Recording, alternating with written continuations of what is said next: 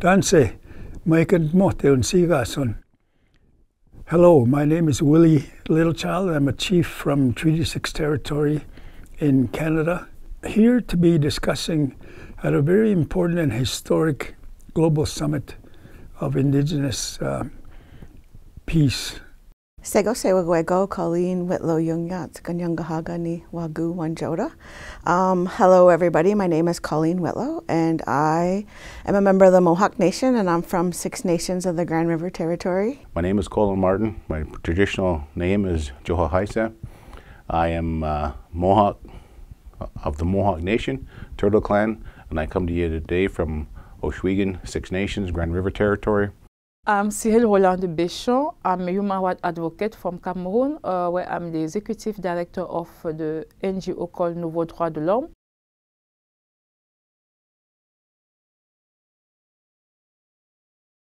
Well, unfortunately and sadly, indigenous peace-building processes have been overlooked, um, in my view, sometimes deliberately.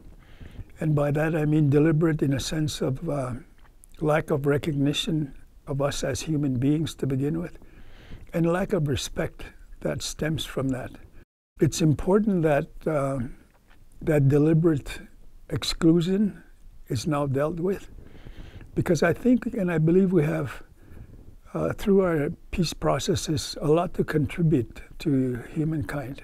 All of these colonized ways of thinking, they came in there eh, without having that respect and and kindness and actually just even taking the time to understand who we are and where we come from, where we're rooted in as indigenous peoples, those sacred connections that we have to our Mother Earth. I think it was just their mindset when they came in. They weren't open to the, they just seen us and viewed us in different ways and they overlooked all of the ancestral knowledge and the traditional eco ecological knowledge that we have been um, given and it runs through us through our ancestors even though the U.S. structured their governance system after the Haudenosaunee, they forgot one important component of that, and that was the, the voice of the women. We currently live in a, a paternalistic world, and that contributes to the ego part of their brain being used too much in terms of governance structure. There's no balance there anymore. So we, the Haudenosaunee, are here in Washington to bring forth that message again that we need to balance out. The message to the world is simply you have to include the women.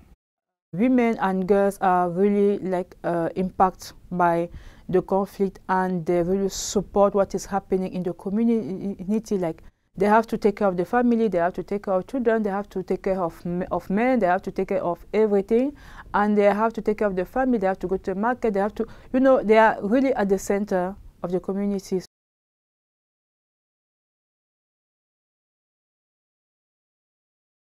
One of our core concepts is having a good mind. So the Gutnigo Leo in the Mohawk language, that's how we say that. And really what that is, is that is bringing a sense of peace within yourself.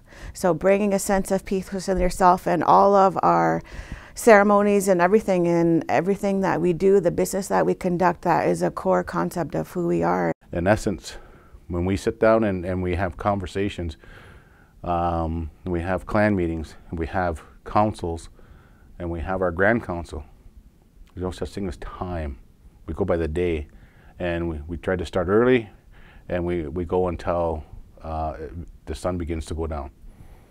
And then if we can't get through the issues in that time frame, then we put it to rest for the day and continue on the next day until we can come to a resolution. I think that is what is really important is how can we have peace process where people find themselves because as you know I think uh, we have we, we have been facing the failure of peace process over the world and in Africa precisely. So I think, and this is because people don't find, there is not ownership of this process. People don't trust the process and, and they are not involved in the process. The spiritual foundations of our beliefs in regard to peace building has to be taken into account. And I say taken into account by way of calling on us to build on each other's strengths, build on those strengths and work together in unity. And in that way, I believe that by working together, we can achieve peace in conflict areas or achieve, achieve peace within self and achieve peace with others.